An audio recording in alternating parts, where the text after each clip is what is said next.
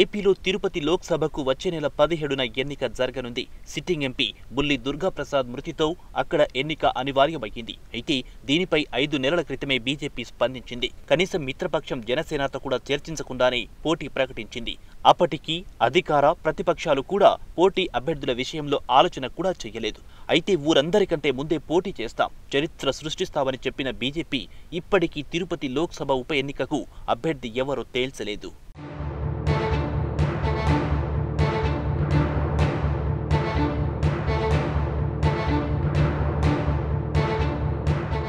ఏకపక్షంగా పోటీపై బీజేపీ ప్రకటన చేసిందని మొదట్లో జనసేన కినుకు వహించింది. అయితే పెద్దల భేటీలతో ఈ పంచాయతీ ముగిసింది. పోటీకి సై అంటూ ప్రచార వ్యూహాలను సైతం రాష్ట్ర నాయకత్వం సిద్ధం చేసింది. తిరుపతిలో మకాం వేసి మరీ నేతలు సమీక్ష జరిపారు. సోము వీర్రాజుతో పాటు party co in charge Sunil Deodhar కూడా అక్కడ కొద్ది రోజులు మకాం వేసి పరిస్థితిపై చర్చించారు. ప్రతి మండలానికి ఓ నేతల అంటూ ప్రణాళికలు కూడా సిద్ధం చేశారు.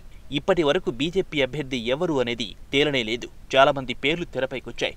దేనిపైనా అది నాయకత్వం సంతృప్తి వ్యక్తం చేయలేదని తెలుస్తోంది. అధికార ప్రతిపక్షాల నుంచి మాలా సామాజిక వర్గానికి చెందిన వారికి పోటీలు దింపారు. దీంతో తాము మాదిక వర్గం నుంచి బరిలో దింపాలని బీజేపీ ఆలోచన చేసింది.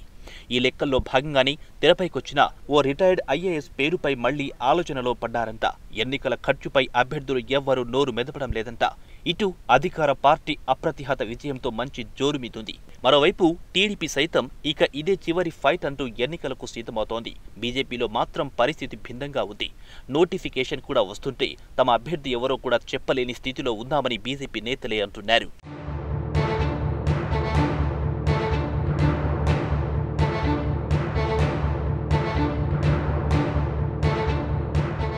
మరోవైపు తెలంగాణలో బండి సంజయ్ దుబ్బాక జీహెచ్ఎంసీ ఎన్నికల్లో నిరూపించుకొని సత్తా చాటాడు. ఇప్పుడు సోము వీర్రాజు వంతు వచ్చింది. జనసేనతో కలిసి ఏపీలో రెండు వేల ఇరవై నాలుగులో బలమైన ప్రత్యామ్నాయంగా ఎదుగుతామని సోము వీర్రాజు సవాల్ చేశారు. అయితే బండి సంజయ్లా సోము వీర్రాజు ఏపీలో ఎదుగుతారా లేదా అన్నది తిరుపతి ఉప ఎన్నికల్లో తేలిపోతోంది.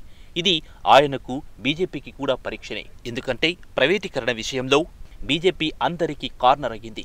విశాఖ ఉక్కును ప్రైవేట్ పరం చేసిన బీజేపీ ఇప్పుడు ఏపీ ప్రజల దృష్టిలో విలన్గా మారిపోయింది. అయితే సోషల్ ఇంజనీరింగ్లో రాటుదేలిన ఏపీ బీజేపీ సహా ఇన్ఛార్జ్ సునీల్ దియోధర్ వంటి బీజేపీ నేతలు కొద్ది నెలలుగా తిరుపతిలో మకాం వేసి బూత్ లెవెల్ రిపోర్ట్లను తెప్పించుకొని మరీ కష్టపడుతున్నారంట.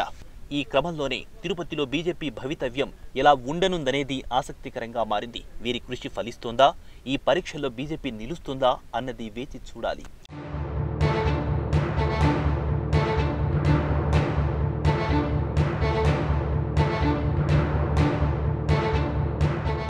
ఏది ఏమైనా కమల దళంలో తిరుపతి బైపోల్స్ ఉత్సాహం కాస్త అలా ఆవిరవుతోందని పార్టీ నేతలే గుసగుసలాడుకుంటున్నారు. ఉప ఎన్నిక మంచి బ్రేక్ ఇస్తుంది అనుకుంటే దూకుడుకు బ్రేక్ వేస్తుందని నేతలు అభిప్రాయపడుతున్నారు.